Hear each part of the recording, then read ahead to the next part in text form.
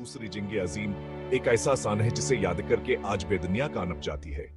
यह जंग सिर्फ़ एक लड़ाई नहीं थी, बल्कि हाई का ऐसी आग जिसके शौलों ने लाखों लोगों की ज़िंदगी जलाकर रख दी। यक मस्तंबरा ने स्वान तीस को शुरू हुआ, यह महायुद्ध पूरी दुनिया में आगावर खून की होली खेल गया। छह साल तक चलाए ही युद्ध इंसानियत की तारीख का सबसे भयानक युद्ध बन गया। इस युद्ध ने दुनिया को एक ऐसे मोड़ पर लाकर खड़ा कर दिया, जहाँ से वापसी मुश्किल थी। लाखों लोगं की अमुता हुई, करोड़ों की ज़िंदगी बर्बाद हुई, देश बर्बाद हुए, शहर अजर गए और इंसानियत शर्मंदा हुई। यही उद्धायक मिसाल बन गया है नफर तावर लालच किया कर सकती है। दूसरी जंगे, अजीमा एक ऐसा था जिसने पूरी दुनिया को बदल कर रख दिया। इस युद्ध के बाद दुनिया में एक नया काल शुरू हुआ। एक ऐसा काल जहाँ ताकत का तवाजन बदल गया। या इस युद्ध ने हमें यह सिखाया कि हम की कीमत क्या होती है और युद्ध के नतायज कितने बयान हो सकते हैं। युद्ध के बीजावर उनका अंकुरन दूसरी जंगे अजीमा एक दिन में नहीं छड़ गया। इसकी शुरुआत हुई थी, पहले जंगे अजीम के बाद हुए वर्साई के मुआहिदे से। जर्मनी को अपमानित करके जो मुआहिदा थूपा गया। उसने जर्मनी के लोगों के मन में बदल हलीने की आग लगा दी। असी बीच दुनिया में माशी बहरान ने आग में घे का काम किया।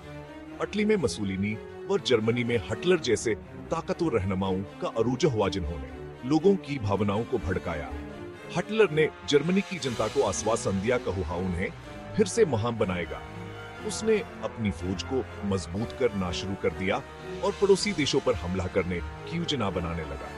सितंबर उन्नीस सौ में जर्मनी ने पोलैंड पर हमला कर दिया और यहीं से दूसरी जंगे अजीम की शुरुआत हुई। फ्रांस और बरतानिया ने पोलैंड का साथ दिया और जर्मनी के खिलाफी था ऐलान कर दिया। देखते हा यदि पूरी दुनिया दो ग्रोहों में बट गया और एक भयान की युद्ध शुरू हो गया। मैदान जंग, तसादु मावर्फता। दूसरी जंग अजीम में अनेक मैदानिक जंग खे गए, जहाँ लाखों सैनिकों ने अपनी जांग नवाई। पोलैंड पर जर्मनी के हमले के बाद फ्रांस पर भे जर्मनी ने बिजली की फतार से हमला कर दिया। फ्रांस की हार के बाद बरतानिया केला पड़ गया और जर्मनी ने बरतानिया पर हवाई हमले शुरू कर दिए। मशरकी यूरोप में सोवियत यूनियन व जर्मनी के बीच भयानक युद्ध छिड़ गया। स्टालिंगराड की भीषण लड़ाई ने जर्मनी की कमर तोड़ दी। असी बीच दिसंबर उन्नीस सौ इकतालीस में जापान ने परल हार्बर पर हमला करके अमरीके को युद्ध में खींच लिया। अमरीके के युद्ध में शामिल होने के बाद युद्ध अधिकार खबदलने लगा। अमरीके ने अपनी विशाल फौजिया और माशी ताकत का इस्तेमाल करके इतिहादी मालिक की मदद की। उन्नीस में नारमंडी में इतिहादी मालिक के सींकों ने जर्मनी पर धावा बोल दिया। हस था चार सियासी दानों पीन चावर खफी हमहमात दूसरी जंग अजीम सिर्फ़ मैदाने, जंगत किक महदूद नहीं थी। अस जंग में सियासतावर सफारतकारी का एक अहम खेल भी खेला गया।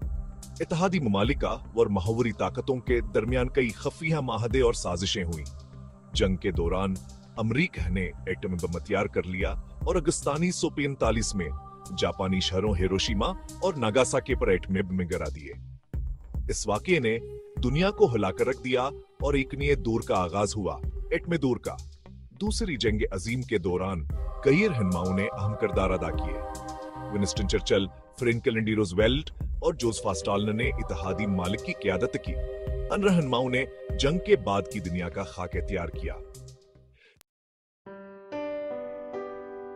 हस पाँच युद्ध के बाद की दुनिया जख्मावर शिक्षा।